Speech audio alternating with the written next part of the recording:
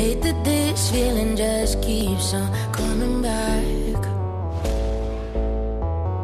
It's like a lump in my throat, yeah, you feel like a heart attack.